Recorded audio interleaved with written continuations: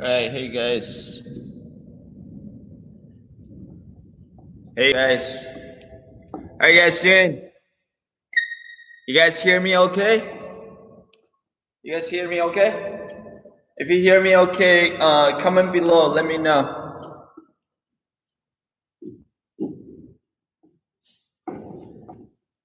All right, so today I'm going to talk about I'm going to talk about there's uh, three different three steps that you, you gotta understand so you can improve your overhead, which is the back end side. Many people were struggling with this, either the middle chords or the back chords.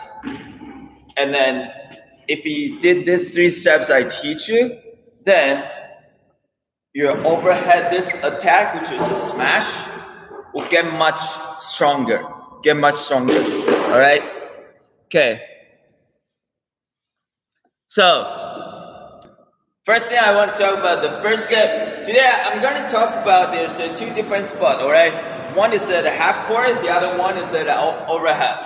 Okay. So for the first thing I'm going to talk about is at the middle courts here. Many people, especially if you play doubles, if you play doubles, then opponent sometimes you push your shot a little bit flat, not that high, so you won't have the time to turn your upper body, right? So how you gonna do? Usually what you're going to do is like this, and I'm gonna break it down step by step. Okay, break it down step by step toward to you. So you can let your smash angle be more accurate and also be more like sharp. All right. So the first the first step you need to understand is your left foot if you are righty. All right. So if you are lefty, you gotta force on your right foot. Okay. Because I'm righty, so I'm more focused on my left left foot. If a shot is coming here and a little bit flat, not that high, the first set is good. You guys gotta step like this, and you shift your weight. You shift your weight to your left side. Okay. At the same time, your racket gotta hold it up because the shot is.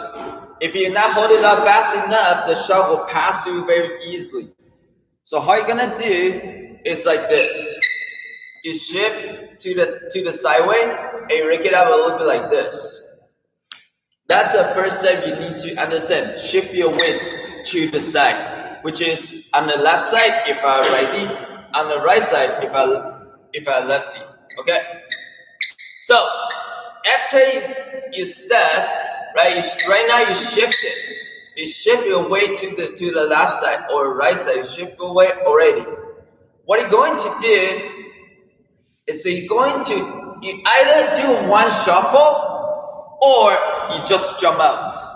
So let me let me show you how it looks like. All right, you either just jump it out or you do one more shuffle and jump out.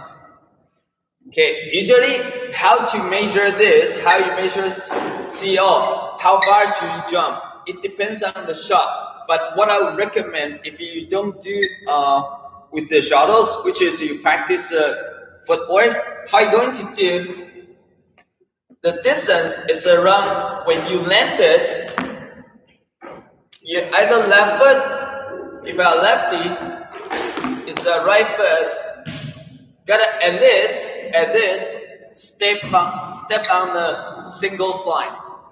Step on the singles line. Okay, so either, so how it looks like, you looks like this. You're gonna, you, you're gonna be like, it looks like this way. Okay, so you're gonna be one shuffle and jump up. And go back. One shuffle, jump up. Or you can just step and jump up. Because sometimes, sometimes you won't have that much time to do that one more shuffle, to do that one more shuffle. So that's the second step.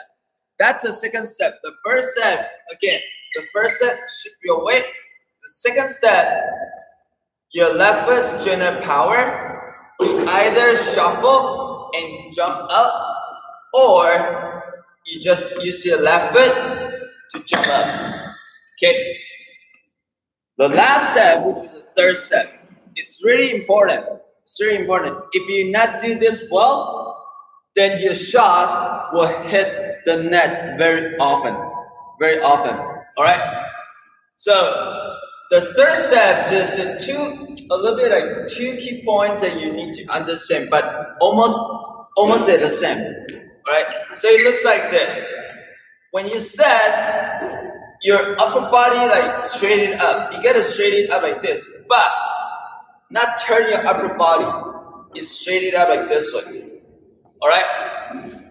But the second thing is you need understand because what I say, you want to let your shot be more deeper and not more sharp, right? So how you're going to do is your elbow get it lift up to here. All right, so you kind of like this. You're gonna be like this. Because sometimes your opponent, the, the shots, when they pushed it or left it, the shot is kind of a little bit this angle, right? When the shot is a little bit like this angle, your upper body, you kind of go like too straight, then it's tricky to hit the shot. Or sometimes you hit it, your, your racket face will become like this.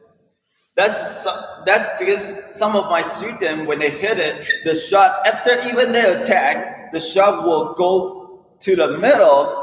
Is somewhere they, they don't want to hit it, but they hit it right? They want to hit straight down to the line, but because of their racket face become like this, and the shot will go toward to the center.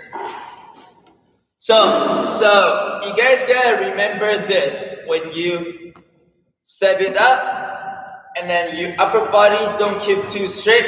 Your upper body need to go link toward to the shuttle like this way, but your elbow gotta hold it up like this. Okay, you gotta go toward a little bit to this way.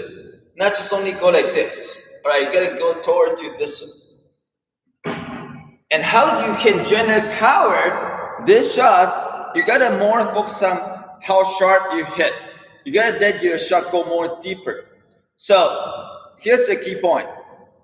If you want that your smash be more deeper, angle go more deep, your forearm and your wrist is really important. So it's based on how fast you swing this power. If you want to go deeper, the swing motion of this motion, you gotta swing faster. That's why if you if you do have the uh, resistance band at home, then you can hold it and practice this. Or some of you guys, some of you guys have a record cover I think I mentioned before, if you're racket cover, you guys can practice swing like this. These two exercise can also help you bring out, like speed up your form swing. Okay, some of you guys, if you want to more how to practice with your swing motion, how to speed up your power of your swing, you can go to my speed power programs and go to the www.badmintonandbeyond.com. All right. So that's a three steps. Let's summarize it here. The first step is you step, okay, step, shift your weight. The second step is your left foot. You either do one shuffle and jump up, or you just jump it up. The third step is you lean your body, go kind of like this, elbow up toward to here, and then speed up your forearm swing. Speed up your forearm swing. Okay, so that's the three steps you need to remember. All right, if you do this well, then you can cut off the shots, especially if your games, let's say in doubles. I give you a scenario like this. Your partner straight in front of you, and right now your partner is doing serve, right? And sometimes the opponent will target to your backhand side if your backhand is weak. So when they receive serve, they will try to push to your backhand side.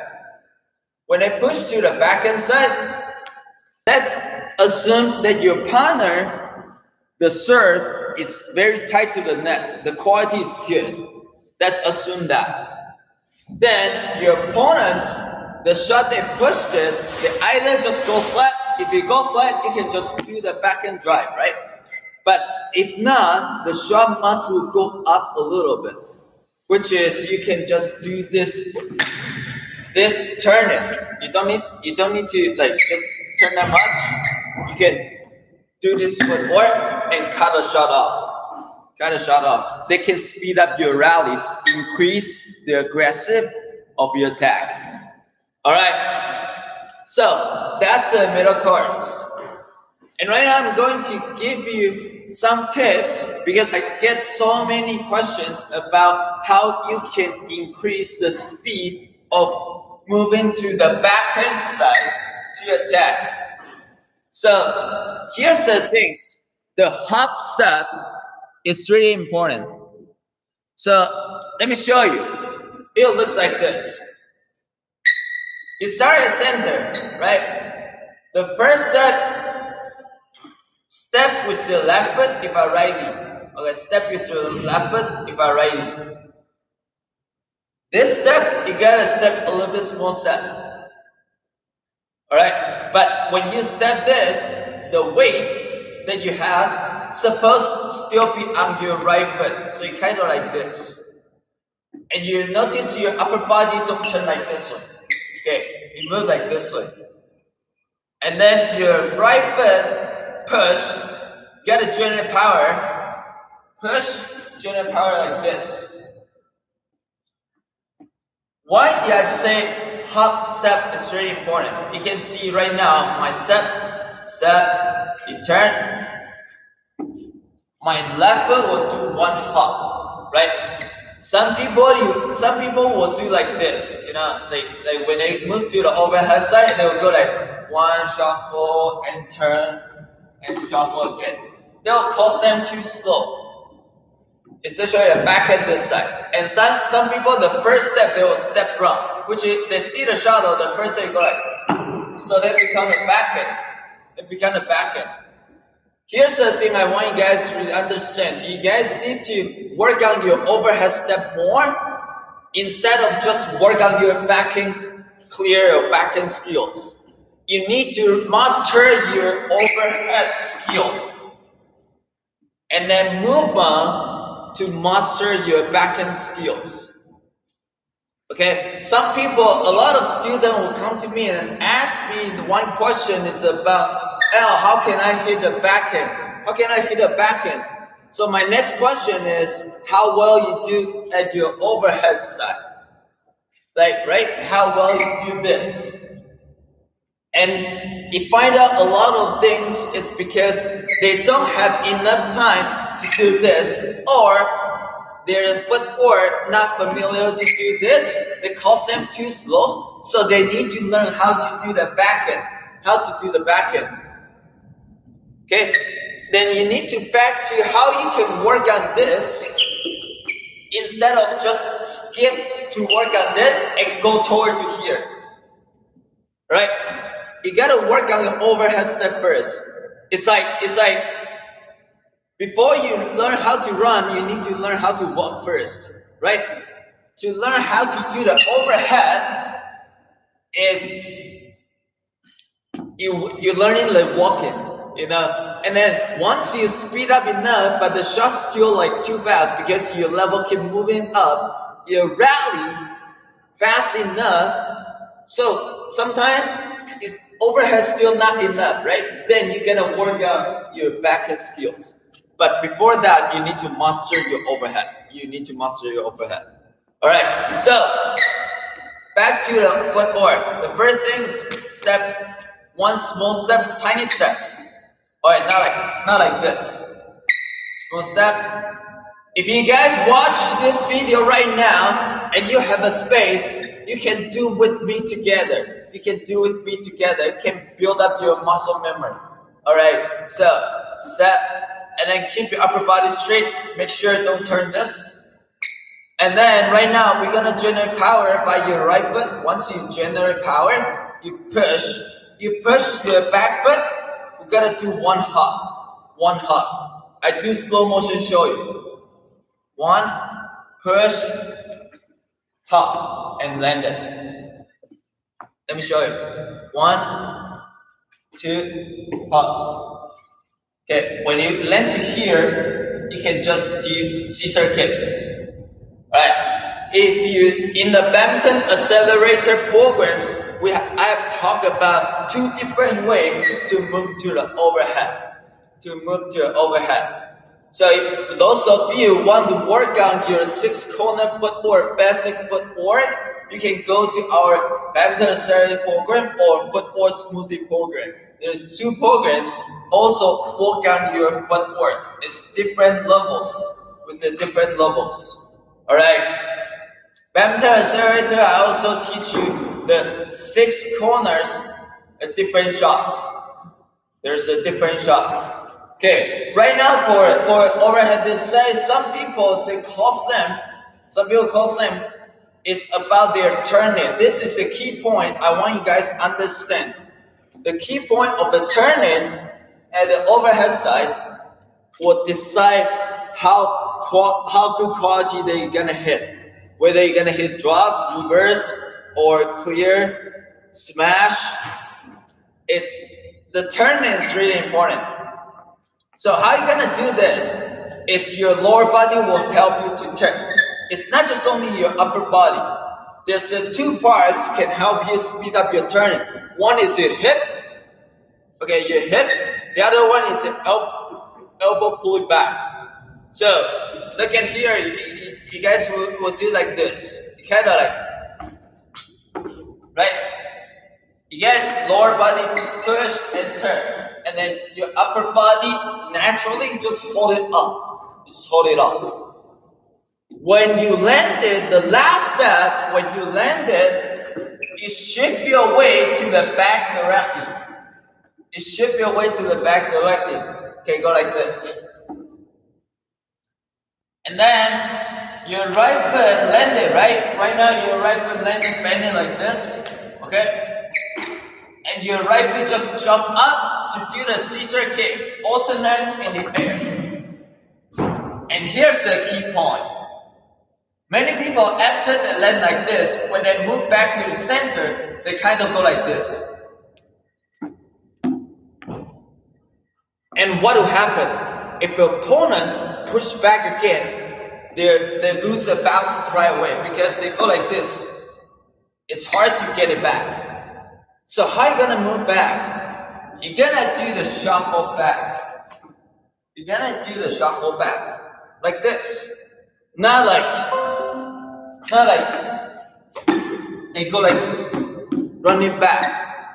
So if your opponent pushes to the same corner, you lose the balance right away, and it causes you you're gonna do the back end again. But what if you do this? Like shuffle, back, turn again. Shuffle, turn again. Shuffle.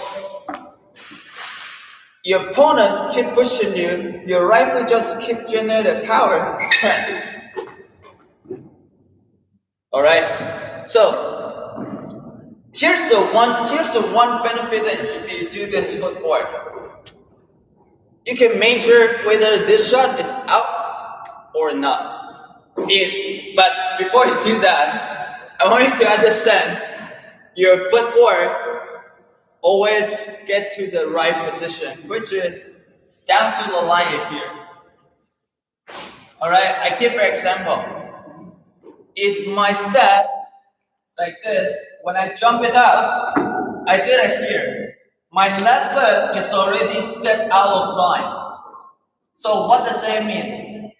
If when I jump it up, the shuttle keep flying do I need to keep hitting? I don't need to hit because it's out already.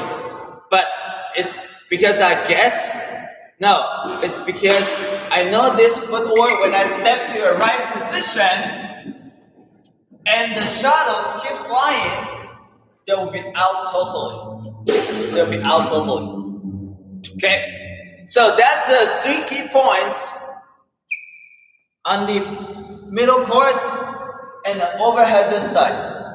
And each footwork can help you increase the power generation because you gotta get to a right position so you can generate power. If you not get to a right position, it's hard to generate more power.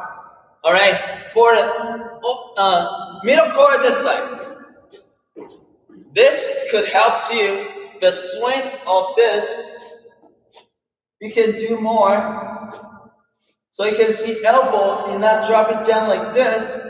Especially the middle core here, the cutoff shot, this forehand, gotta be like this.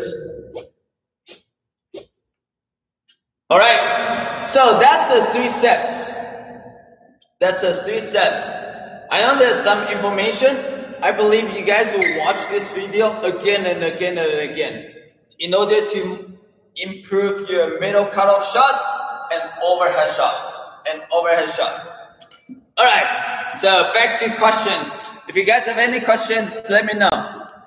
For those of you who haven't, for those of you who haven't joined the ba uh, badminton accelerator program or footwork smoothie, I have left in the link in the description. You guys click it. And we yesterday we launched out the, the cross shots, the cross shots program. The cross shots program I teach you all the six to eight basic shots, how you can hit your cross with a high quality, with a high quality. So your your strategy, your games will be more varieties. Will be more varieties. All right, all right. So back to questions. All right, let's see. Oh, okay. Uh, some people Instagram here. What's your? All right, David. So David, for for the grip that you hold it, when you do the smash for the grip, you can hold either forehand grip or hammer grip. Hammer grip, hammer grip can make your racket face be more a little bit flat. Yeah, either hammer grip or forehand grip. Forehand grip, some, some of my students, I ask them to do more forehand grip. The index finger can help them to generate more power. But hammer grip, which is it can make your racket face be more flat. So if you find every time you smash that you hit it, always slice, slice, slice. You can try to hold a hammer grip. You try to hold a hammer grip. All right. So, okay, next questions.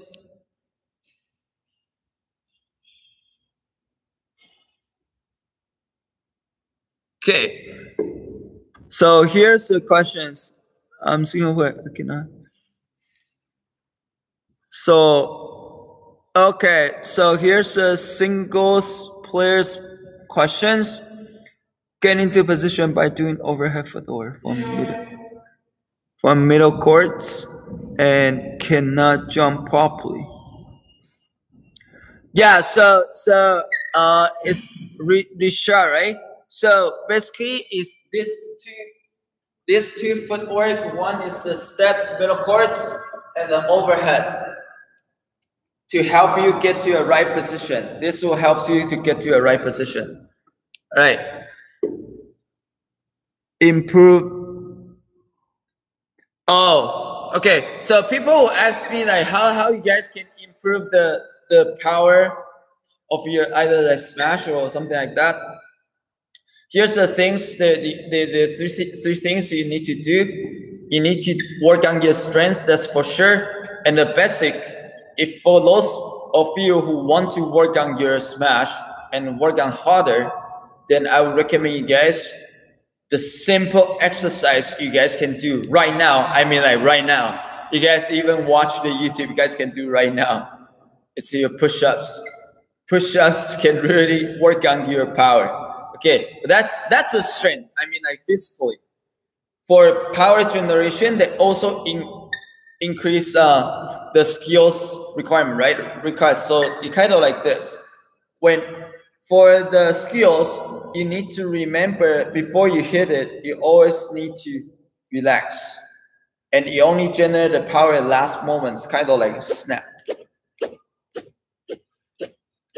That's why I built up the speed power program, which is I teach you the swing motion with the racket cover, because this is all can help you improve improve your power generation.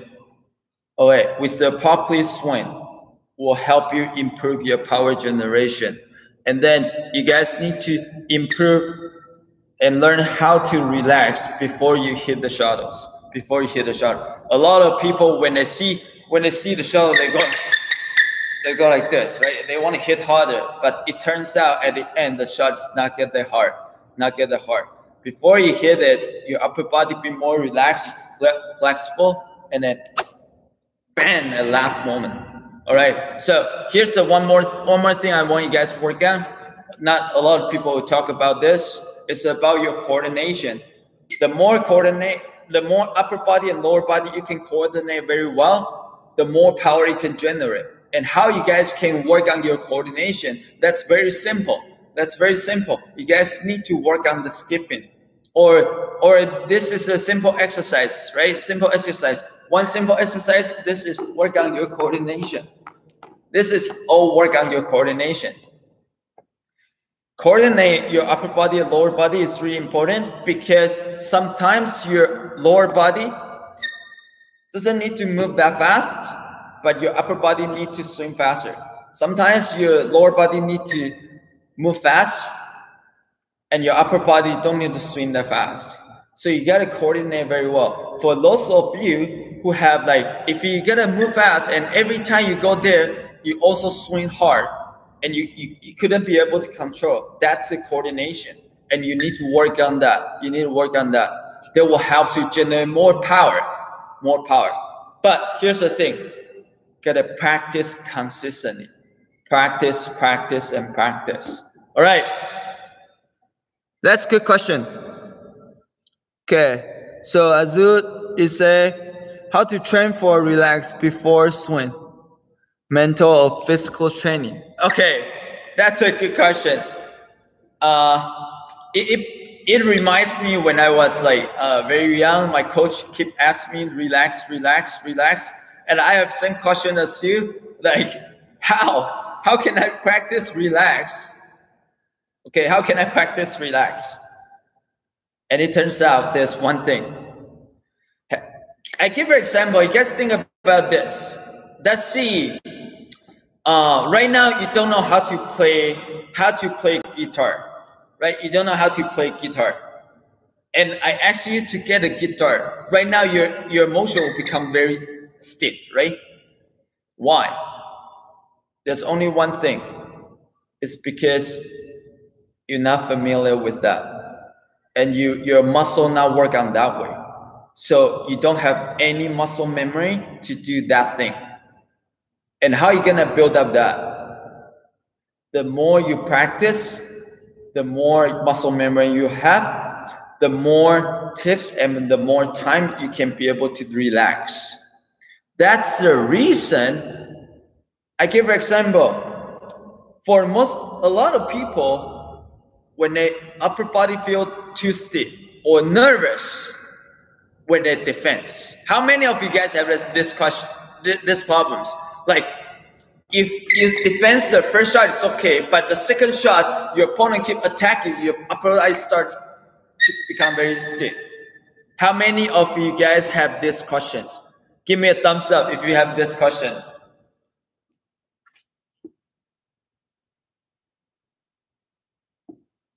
All right, yeah, that's good. So that that that's the reason. That's the reason you need to practice what? Remember the, the first time when I do a live stream, I say, then you gotta work on your wall hit. Wall hit is looks like you're against your opponent.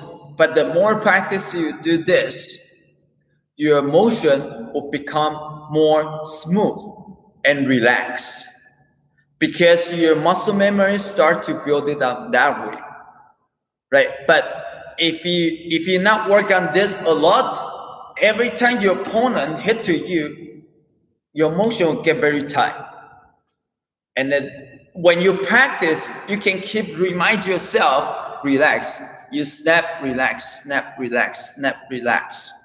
It's only like this. That's for mentally. Mentally, for sure, they have a skills, right? So we talk about a lot of defense skills, smash skills, net shot, like like tons of the skills we talk about, right? So we talk about those skills. Then you work on that skills for mentally. You need to you need to work on what I just say. Keep working on and remind yourself, relax, generate power, relax, generate power. No rush. The more rush you have, you want to hit harder, the less power you will generate. All right. Yeah. That's a good question. I like that as a yeah. yeah. So so for those of you who have like your upper body get very stiff, 90% or even 99%, especially do the fast rally, then then you gotta work on your muscle memory.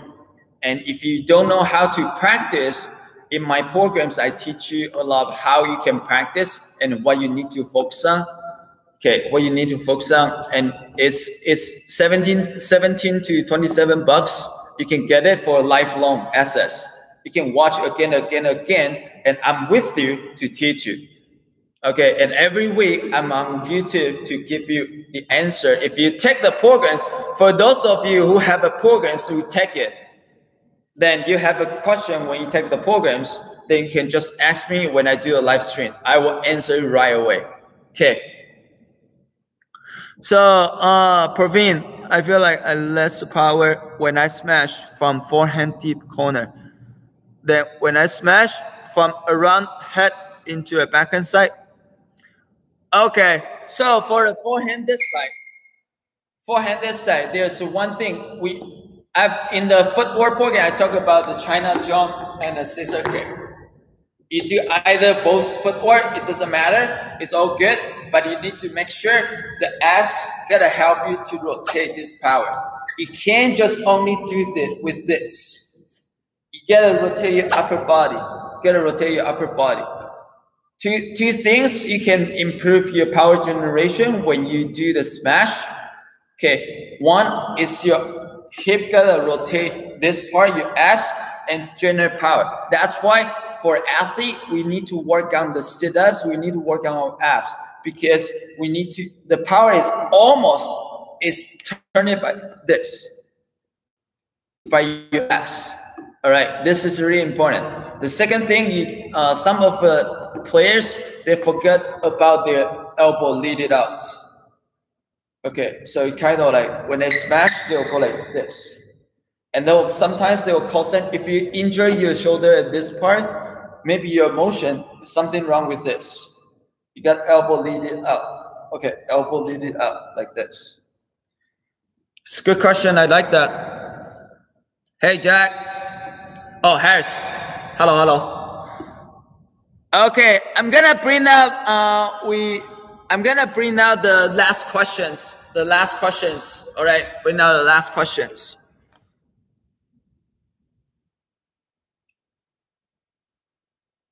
Okay. Uh, then that for the grip I just mentioned, uh, for the grip that I just mentioned, when you do the smash, if you slice, you want to hit more cleaner, you can dare to try do the hammer grip with the hammer grip.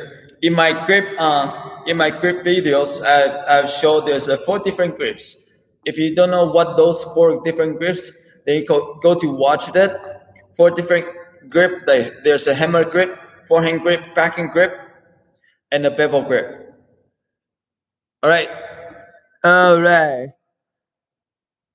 That's okay. So, so today, these three steps, I hope you guys can implement in your games. And for those of you, again, for those of you who haven't taken any programs from me for the uh, the badminton accelerator, foot or smoothie, or cross shots, and speed power, which is increase your speed and the power generation, is all on my website. It's I put the links at badmintonandbeyond.com. badmintonandbeyond.com. You can go to www.badmintonandbeyond.com. Okay, and I put the links in the YouTube. I put the link into the YouTube. For Instagram, those guys haven't go to watch my YouTube yet, you can go to there's a tons of contents over there. Okay, so next week I will see you guys the same time, and uh, next week I'm gonna talk about more with the game strategy. For those of you who want me to answer a question, you can leave in the comment, leave in the comment, or you have some uh, question about you want me to make a content for you, leave in the comments and I'll review your comments and I'll answer you. And maybe I'll make a video for you. Okay. All right. So thank you guys. I'll see you guys next next week. See you guys. Bye.